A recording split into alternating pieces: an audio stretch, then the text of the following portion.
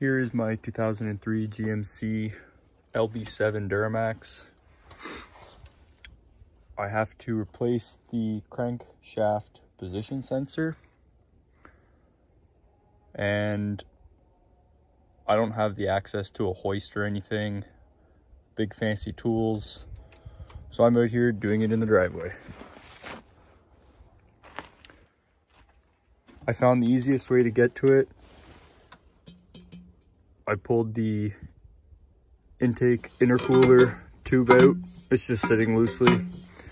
It actually mounts down here where this blue ring is. Um, easiest way to get to it. Down in through the inner fender on the passenger side. And then in here, I'm gonna try to zoom in. You can see by the tip of my finger, you can see like there's a little gear in there. That's where the old sensor came out of. Just below it, you can see a small little bolt hole. That's where the 10 mil bolt was. And then right below in the middle of the screen, that is the electrical pigtail. It's actually kind of easy to get to.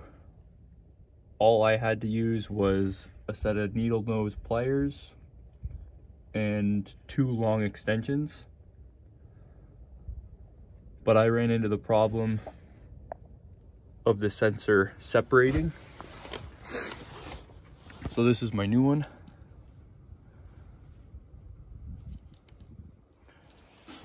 And that's the old one.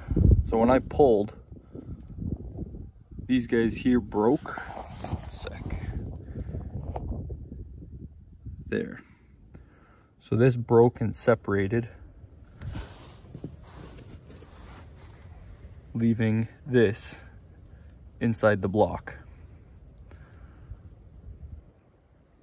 So I was able to, this is what you will see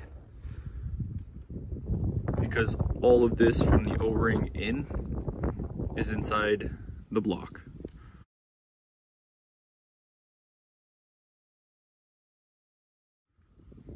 I was able to get a flathead screwdriver and slowly pry from the top and bottom. And then with these needle nose pliers, I pulled and wiggled and twisted. And it does take time don't try not to stress try not to get the big power tools out. If it is spinning it will slowly come out. Mine was able to spin. It just would not pull out. So going from top and bottom left and right I was able to slowly wiggle it out. Now for the install. Super simple. This will just go in this direction, always put a little oil on your O-rings. And I think it actually will go in roughly on that, like this. And you just match up the hole with the 10 mil bolt here, tighten it down, and plug the connector back in. Hope this video helps. Don't forget to like and subscribe to my channel. Thanks for watching.